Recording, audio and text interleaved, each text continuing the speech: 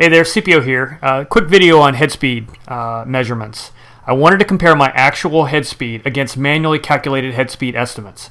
I also wanted to compare my head speed tachometer app on my Android phone against my optical LCD tach I got from Hobby King. That's what this video is about.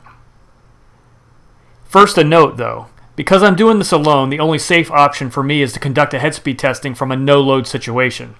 In other words, the heli's on the ground uh, with zero degrees pitch, basically at full spool up.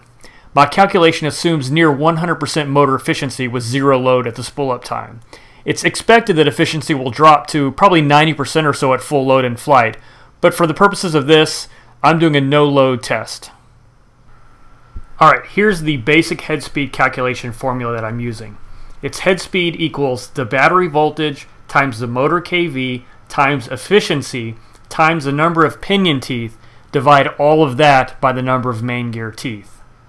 So with that said, my formula would end up being head speed equals 24, that's 24 volts. I'm running a 6S uh, pack, and I have it set at 4 volts uh, per cell.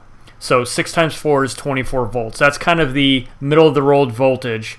Uh, it's not max and it's not low voltage times 1700, uh, which is my motor kV, times 1, because remember, I'm assuming a 100% efficiency. If I was going to do a loaded calculation, I would probably go a 0.9 for a 90% efficiency. My value is 1 in this. Times 11, which is the number of teeth I have in my pinion. And then all of that will divide by 121, which is the number of teeth I have on my main gear. Now normally a main gear for a 450 is 150 teeth. I'm using a helical cut main gear which only has 121 teeth. So doing the math, it looks like my head speed is going to be 3709, but that's at 100% throttle. I'm actually running a throttle curve of 80% right now. So if you calculate that 3709 times 0.8 to get the 80% throttle curve, my estimated head speed is going to be 2967. So let's see how close we get.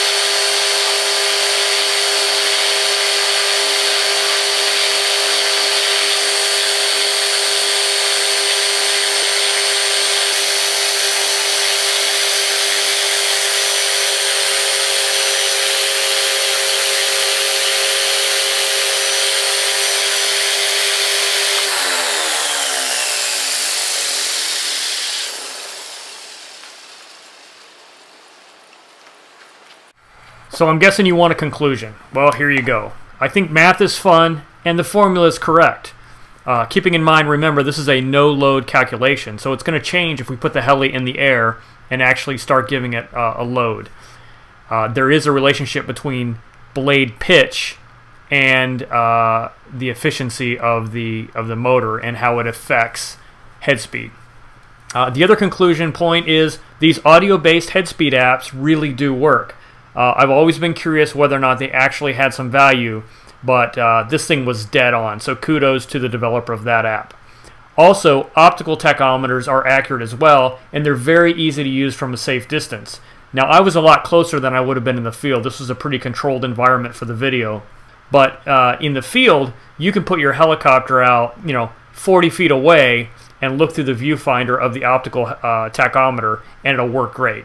So uh, anyway, that's it. Just wanted to throw this together. Uh, head speed calculation, audio-based uh, head speed application from a you know mobile device, and also uh, optical tachometers. I hit it all in this. Uh, hope you enjoyed it. Thanks for watching. Catch you on the next one.